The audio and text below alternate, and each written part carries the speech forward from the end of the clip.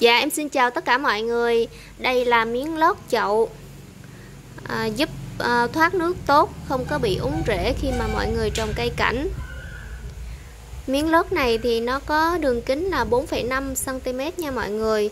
À, Em có loại 2,5cm và 7,5cm nữa. Mọi người có nhu cầu về kích cỡ như thế nào cho phù hợp với cái chậu của mình á Thì à, liên hệ trực tiếp với em nha. Rất là nhiều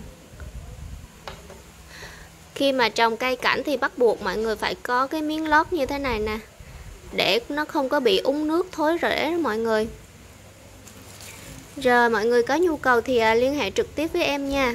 Bên em thì chuyên à, phân phối những cái à, loại này nữa Nên là mọi người có nhu cầu thì liên hệ trực tiếp với em Hoặc là có nhu cầu mua về thuốc diệt mối và côn trùng thì liên hệ trực tiếp với em nha. À, Xin cảm ơn mọi người đã theo dõi hết video này. Xin chào và hẹn gặp lại mọi người ở những video lần sau.